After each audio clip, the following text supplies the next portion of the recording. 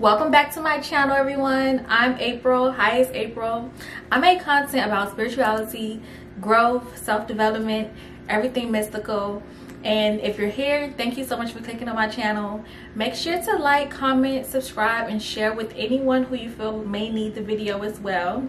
But i'm gonna jump right into the topic because i feel a calling to speak on the emotion of shame so i'm sharing this video today with you all because i feel we all want to evolve past our past experiences and who we have been prior to our awakening. And we also don't want to stay stagnant. So becoming self-aware and that happened for me during meditation.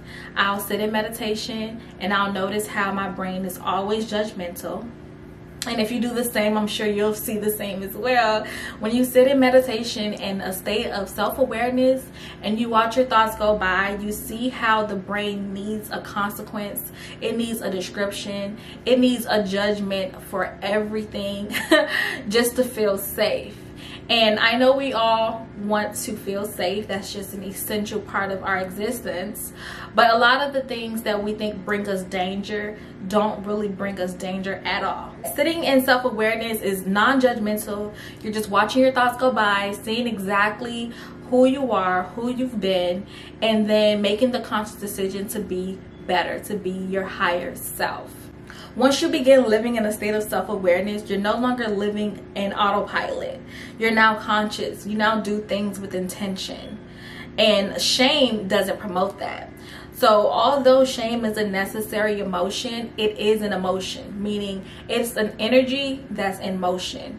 So if you allow yourself to stay in a place of shame, and you don't allow that emotion to process through your body and release, then you won't be able to get to the other side, which is accountability and growth. For example, let's say you judge yourself because um, you say, I just stole a shirt out of a store, or I shouldn't have yelled at my daughter today.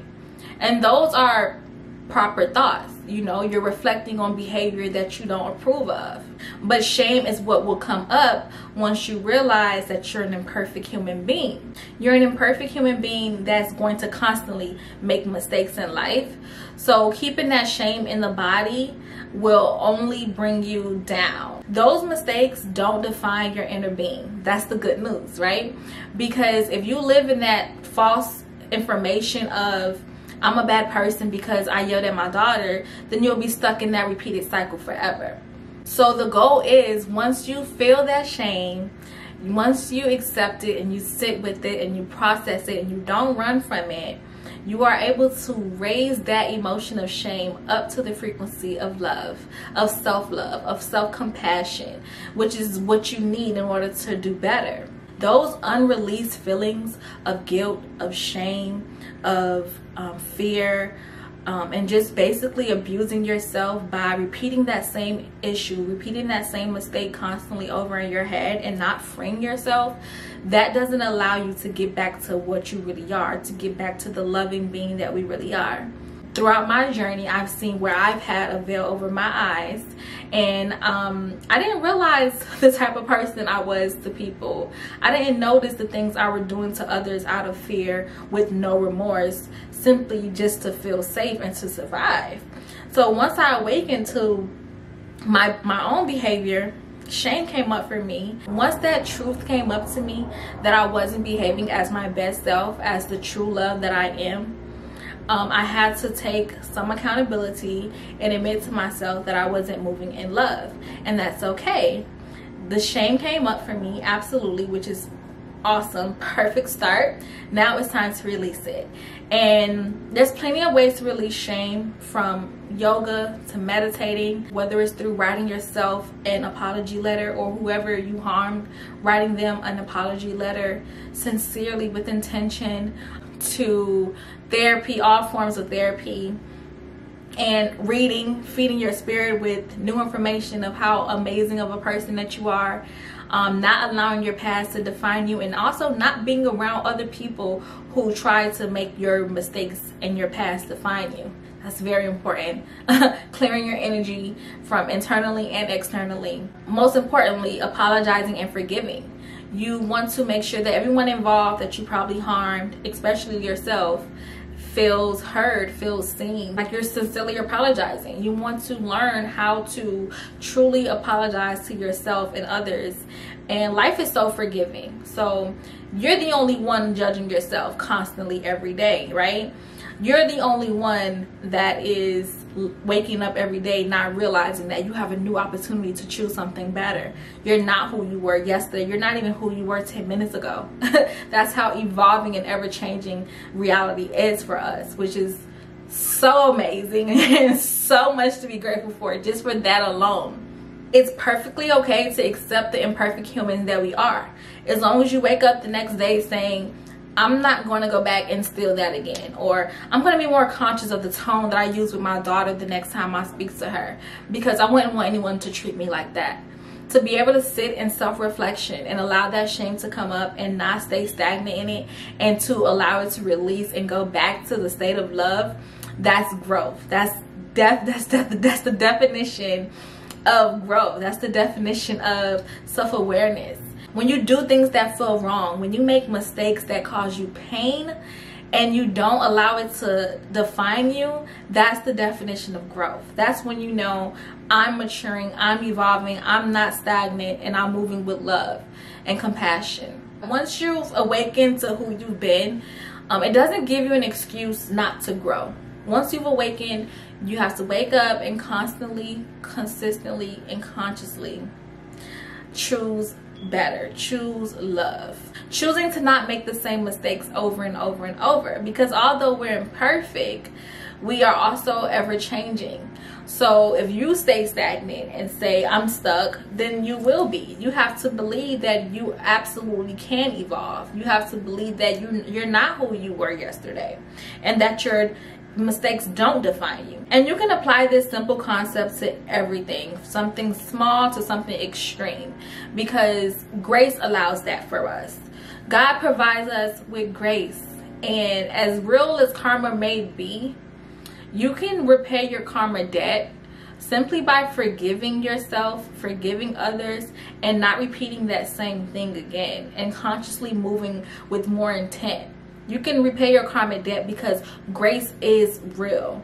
Grace allows you to free yourself from those low vibrational emotions. Grace allows you to live in a constant state of joy and freedom. So if you're with me right now, just close your eyes and visualize yourself living in a more compassionate, a more gentle reality. And know that we are spinning on a rock in the middle of space and that who you were 10 minutes ago or who you were last year doesn't define you and have fun with the journey. Have fun with the process. You don't have to beat up on yourself and be your own toughest worst critic. Align yourself with your soul essence because that is the only thing that is true. Life is about evolving without shame and regret from where you came from. It's about using your past to tell a story so it can help others it's about noticing when you're making a mistake and telling yourself that I am not my mistakes. And always be gentle with yourself. Always be gentle with yourself because then that's the only way you can be gentle with others.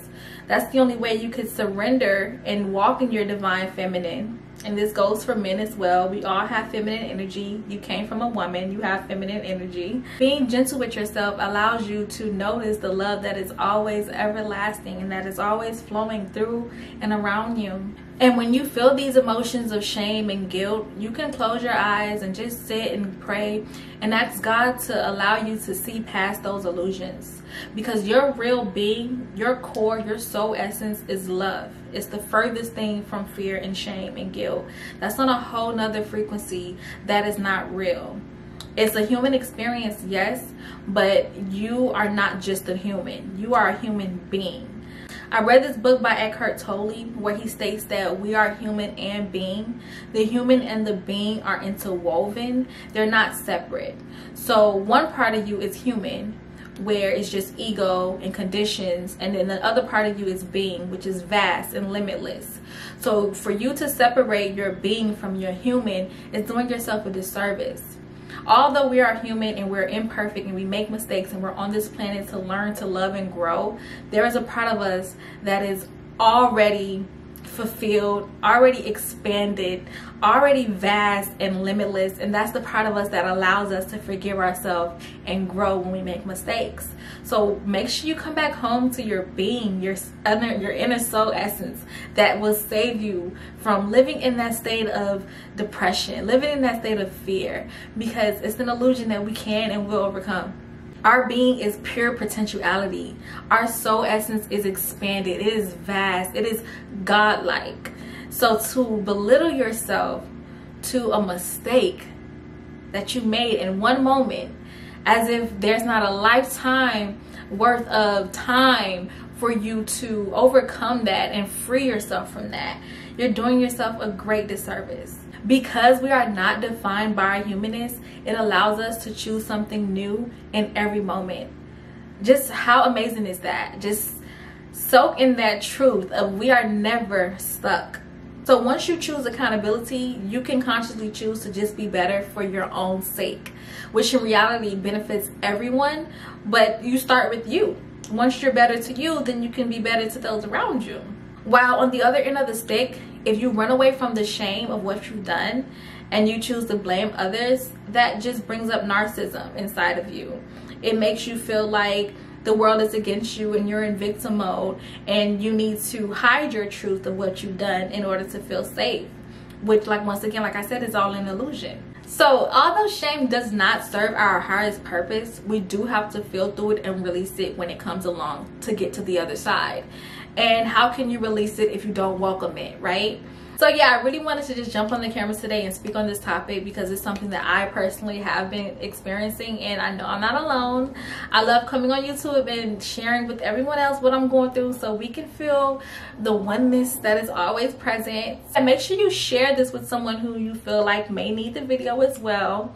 I will be making more content on this topic. Thank you all so much for watching. Thank you so much for existing. And make sure you check out my next video. Bye